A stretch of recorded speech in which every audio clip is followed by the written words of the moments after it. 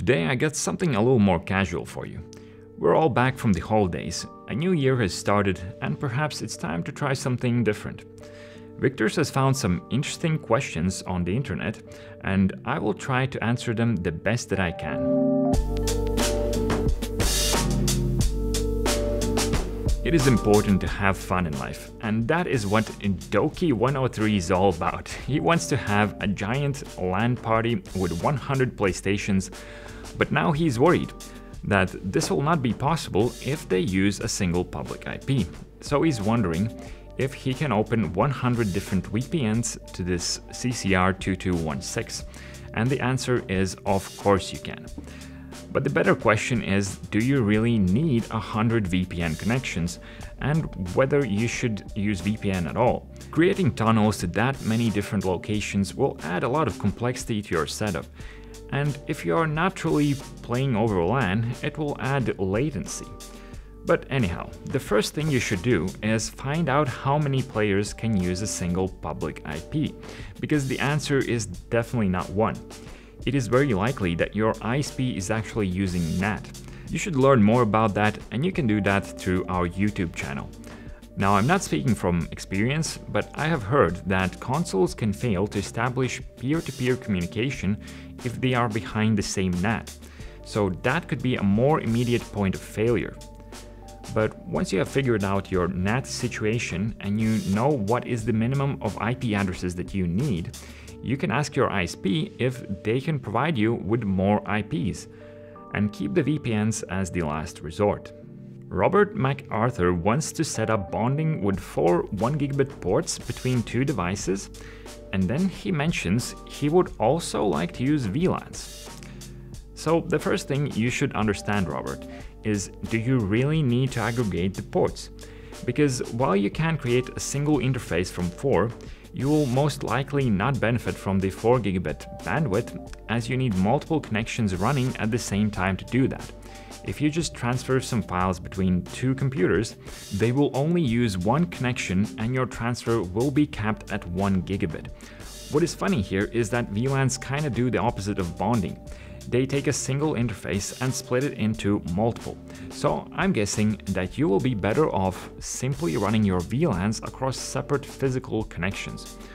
However, if you do opt for bonding, make sure you use the 802.3AD or balance XOR modes as those will be offloaded to the switch chip without taxing your CPU.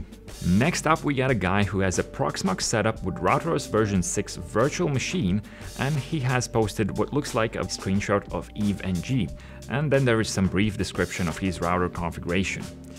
To be honest, I am not sure what we're supposed to make of this. So the bad news is that I cannot comment much on this without astrally projecting myself into his setup and tapping into the knowledge of the universe to understand what is going on there. But the good news is that he has acquired CCR 2004 and intends to now use it in place of the virtual machine. So I do have a couple of tips in regards to that. So first up, make sure you upgrade to RouterOS version 7 as we no longer actively develop version 6. All the latest and greatest features will be found in version 7. Once you have successfully done that and got familiar with any changes affecting you, then you can think about migrating. However, you shouldn't just import the existing configuration into your router because some details like interface names will be different. So you will need to do the configuration more or less manually. The most important thing that you should do is understand how VLANs work in MikroTik devices and then configure your new router using what we call VLAN filtering as it will be less taxing on the CPU. You can learn everything you need to know about VLANs by watching part 1 and part 2 of our VLAN video series. Homebase3 asks how to assign a port to VLAN. Watch the VLAN videos I just recommended. LucidNX is asking a question about PPPoE. He wants to access his printer through a separate IP. The guy who answered is right. The easiest thing you can do is port forwarding, which in Linux world is called destination NAT. We have a video that shows you how to set that up. Tex asks how he can get two private networks to talk to each other. Well, you will need to learn the basics of routing. Most likely, you can just use your router as a default gateway in both of your networks. If not, you'll need to set up some static routes manually. However, there is also a term called broadcast domain. If you want to broadcast messages without a specific destination IP to travel between the two networks, then you are better off to just create one single network for all of your devices, as the alternative would be to do ARP configuration, and that is just going to confuse you.